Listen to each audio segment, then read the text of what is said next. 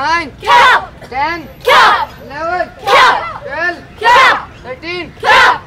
fourteen, Cap. fifteen, Cap. sixteen, Cap.